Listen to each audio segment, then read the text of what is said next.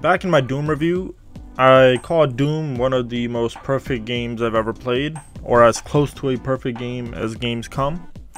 Now, that statement definitely seems kind of weird given that generally reviewing a game is a subjective process, and what you share in a review most times is also subjective. Um, and in all fairness, even that statement is very much subjective. I'm I'm not saying that it wasn't subjective, but um, what I'm trying to say is is that statement uh, wasn't describing how much I liked that game. Um, even though I love that game, I think I made that very clear in the video.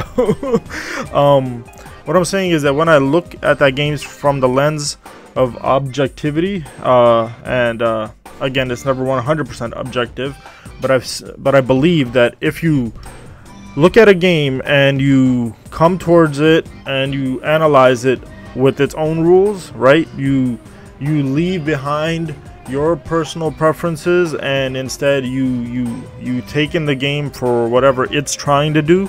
Um, then there's sort of a way that you can analyze and recognize the accomplishments of a game on its own terms and that's where you can find somewhat uh, of a more objective approach on discussing a game. Uh, let me give you an example, right?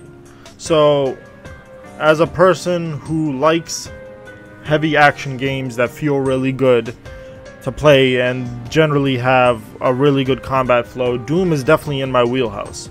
So, of course, that's going to affect my opinion. Even if that wasn't my preferred taste, if I approached Doom from the perspective of knowing what it's trying to accomplish, right?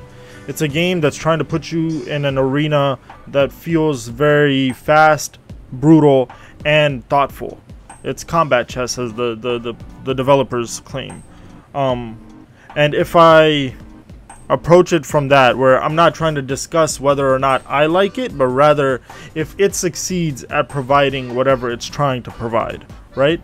Now, when looking towards Doom, if I remove my biases of the things that I enjoy in my my games, right, or the games that uh, the, the, the the features and games that I prefer, and instead I view Doom uh, from the lens of it has a goal, combat chess again, and how does it achieve that goal, right? Then I can start sort of breaking down aspects of the game and sort of recognizing where it succeeds and where it fails and that's where I felt like Doom was a close to perfect game because I think for what it's trying to do, it does it better than almost anyone I can think of.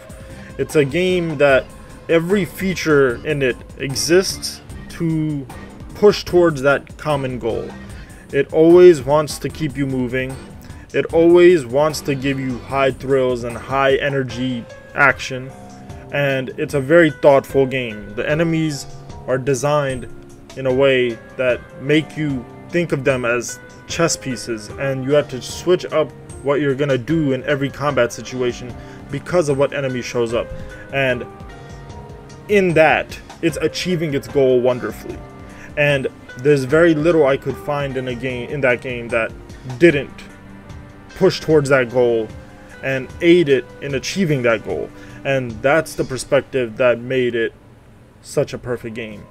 Um, I apologize if I'm kind of retreading a lot of common ground. This is off the dome, uh, but this has been a topic that sort of interests me because uh, reviews are a very difficult thing to really write because everybody does them in their own way.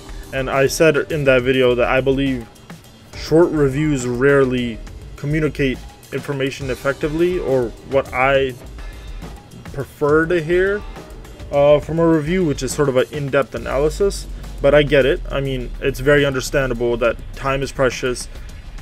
When a review is super long, I, I, I am less likely to click on it, even though I think that's a review that's doing its job better.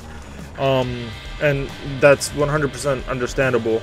But I do feel like being able to recognize where a person's coming from, right? By knowing what the reviewer's tastes are, and then being able to recognize when they're putting their biases aside to break down a game on its term can probably help you recognize the quality of the game beyond the biases that the reviewer might have and might also help you recognize if that game is for you because everyone's different. Um, and again, there's no way to be 100% objective, even in the analysis of some if something is succeeding at, at what it's doing. Outside of maybe numbers and data, which are hard to come by, a lot of that is just off of a gut feeling. If you feel like you, the game is, if you feel like the game is getting across what it's trying to achieve uh, through whatever aspect you're analyzing. Um, and so again, there's never a way to really get rid of subjectivity in anything uh, that that has to do with analyzing an art piece. But there is a bit of room there. They could discuss topics that otherwise would be just based on taste, but you could sort of have a discussion where everybody's sort of on common ground and you can analyze a game off of sort of a common footing. And that I think is a space that isn't explored as much as I'd like in reviews. Um, and uh, I hope to be able to sort of do that more with my videos going forward. It's definitely something that's difficult because I, again, short videos are generally preferred. Even on my end, editing is arduous when the video is long. But that's the end goal, I guess. And uh, I hope to improve on it. And uh, I hope you can help me improve on it just with feedback. Uh, yeah, thank you for watching. I hope you guys uh, learned something, or maybe uh, you know you didn't, and thank you for sticking around. uh, talk to you later.